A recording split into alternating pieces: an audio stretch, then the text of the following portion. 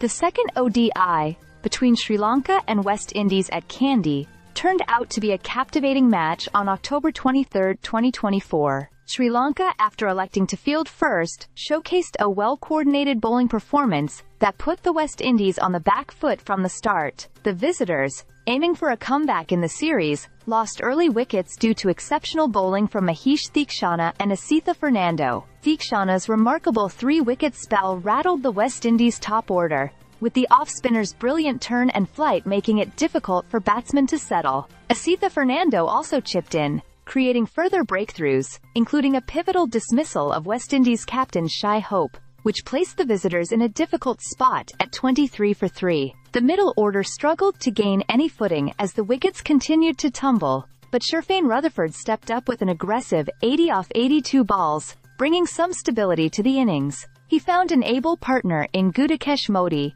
who contributed an unbeaten 50 and helped build a valuable 119-run ninth-wicket partnership with Rutherford. Their combined resilience took West Indies' total to 189 in 36 overs, as the lower order rallied to give their bowlers something to defend.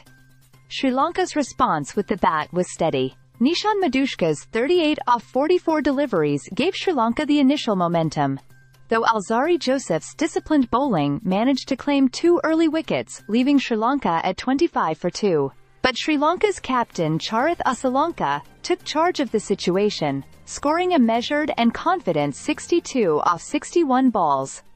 Asalanka, alongside Sadeera Samarawickrama, who contributed a valuable 38, kept the innings on track. Despite a couple of tight spells from the West Indies bowlers, Sri Lanka's middle order maintained their composure, steadily chipping away at the target. Janith Liyanage added a handy 24, building crucial partnerships that brought Sri Lanka closer to victory. The team ultimately reached the target in 38.2 overs, with five wickets in hand, clinching the game with 34 balls to spare. Mahesh Theekshana's spin wizardry earned him the well-deserved Player of the Match award for his figures of 3 for 25, and his early strikes were crucial in setting the stage for Sri Lanka's win. With this victory, Sri Lanka now leads the three-match ODI Series 2-0s, marking a strong start and looking poised for a clean sweep in the final game.